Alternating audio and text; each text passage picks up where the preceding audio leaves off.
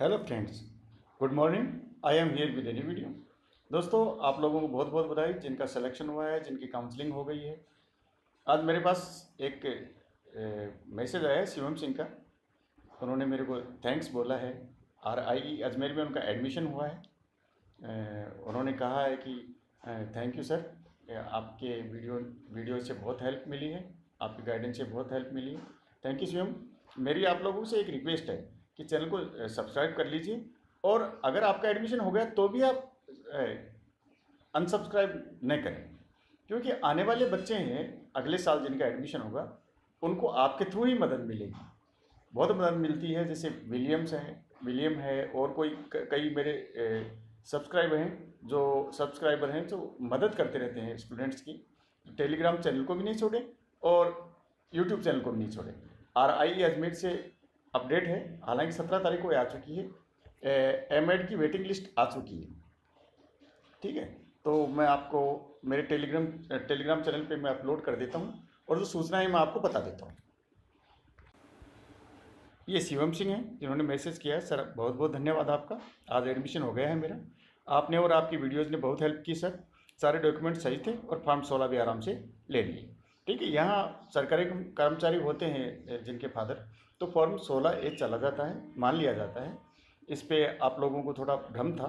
तो income tax के लिए जो वहाँ पे कागज़ मांगते हैं, आय का प्रमाण पत्र मांगते हैं तो सोलह ए फॉर्म उसमें चल जाता है। ये ध्यान रखें। एम्प्लॉयज़ के लिए मान्य है। फ्रेंड्स, ये लेटर है, पंद्रह तारीख का निकला हुआ है टू ईयर एम प्रोग्राम के लिए। ठीक है? तो आपकी जो काउंसलिंग डेट है यहाँ ऑफलाइन काउंसलिंग बता रखी है, उपस्थिति दर्ज करानी है आपको 21 सितंबर को। ये देख लीजिए ट्वेंटी फ़र्स्ट ऑफ़ सेप्टेम्बर साढ़े नौ बजे आपको कक्ष संख्या बारह में आपको जाना है। वहाँ आपकी काउंसलिंग होगी और रिक्त रही सीटों पर आपका एडमिशन हो जाएगा। तो आप ये चांस ज़रूर लीजिए एम के लिए, ठीक है? और सारी जानकारी ये लेटर मैं आपको और ये लिस्ट है, मैं आप टेलीग्राम चैनल पे अपलोड कर दूँगा, वहाँ से डाउनलोड कर सकते हैं। यहाँ फ़ी दे रखी है तेरह हज़ार दो सौ पचास S C S T P H candidates के लिए आठ हज़ार दो सौ पचास रुपये ठीक है, ये फ़ी बता रखी है। ये यहाँ देख लीजिए M Ed program part first provisional wait list listed candidate of Uttar Pradesh तो जनरल के इसमें तैंतीस हैं ओबीसी के इक्कीस एससी के बारह एसटी के छः ई के नौ कैंडिडेट्स रह गए हैं।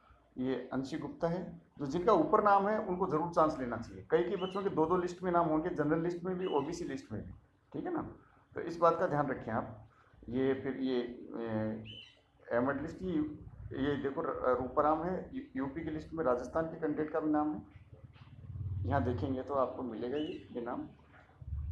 यहाँ आपका यूपी की कैंडिडेट लिस्ट में आपको, राजस्थान वाले कैंडिडेट का भी नाम मिलेगा। एक कैंडिडेट शायद कम है तो यहाँ जो रूपाराम है, ये ओबीसी के हैं, राजस्थान ओबीसी के तो उनको ले लिया गया है। और आप देखेंगे तो ओबीसी के अगेंस्ट जनरल को भी ले लिया गया है, क्योंकि शायद कैंडिडेट कम है, आप देख लो आप। लिस्ट को आप ध्यान से देखेंगे तो आपको मिलेगा। फिर राजस्थान के भी ओबीसी के जब नहीं मिलते हैं तो फिर राजस्थान ओबीसी की लिस्ट में राजस्थान के जनरल भी ले लिए गए हैं, हरियाणा के जनरल्स भी लिए गए हैं। और आप देख सकते हैं, अठारह नंबर पर आकांक, आकांक्षा शर्मा है। किस नंबर पे सरिता कुमारी है? तो ये और एससी की लिस्ट है। तो एससी की लिस्ट में आपको ये नाम मिल रहे हैं, बारह नाम है। एस की लिस्ट में सभी एस के लिए गए हैं, जो वेटिंग लिस्ट कैंडिडेट है। अगेंस्ट एस टी यहाँ आप देख सकते हैं ये ये सारे एस टी के कैंडिडेट लिए गए हैं। ए डब्ल्यू एस की लिस्ट है, ये आप देख लीजिए। यहाँ राजस्थान की लिस्ट आप देख सकते हैं। ये वेटिंग लिस्ट है, बीस लिए गए हैं। जनरल के बीस लिए गए, बीस कैंडिडेट हैं। ठीक है दोस्तों, ओबीसी की लिस्ट ये आपको यहाँ दिख दिख रही है। यहाँ भी आप देख लीजिए, आठ ओबीसी के हैं, एससी के चार हैं और ईडब्ल्यूएस के तीन हैं। ये जनरल, ये provisional wait listed candidate on Punjab state, of Punjab state. यहाँ भी देख लीजिए यूपी के लिए गए हैं, राजस्थान के लिए गए हैं, पंजाब से कोई नहीं। और यहाँ ओबीसी की लिस्ट में देखेंगे तो पंजाब से कोई नहीं। राजस्थान, यूपी, दिल्ली, राजस्थान, यूपी, और ऐसे ही तो कैंडिडेट नहीं मिलते, अप्लाई नहीं करते, दूसरे स्टेट से ले लिया जाता है, क्योंकि सीटें खाली नहीं जाएगी। ये भी हरियाणा की है, हरियाणा के भी इसमें यूपी के भी राजस्थान के भी और यहाँ ये ये हरियाणा स्टेट की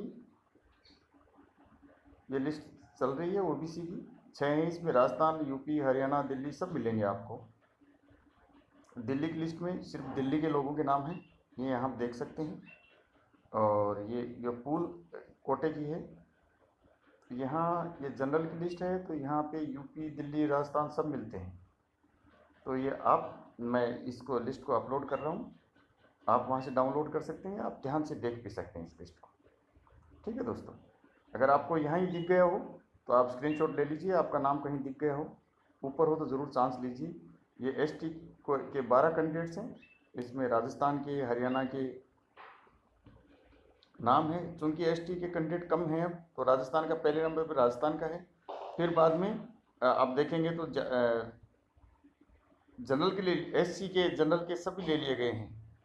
ज़्यादातर तो एस सी के ही एस के ही हैं। आप कीजिएगा, सभी एस सी के हैं।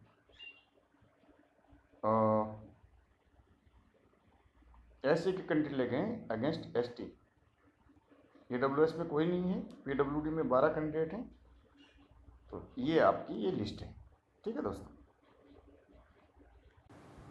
एक नोटिस और है कि पंद्रह तारीख का ही है।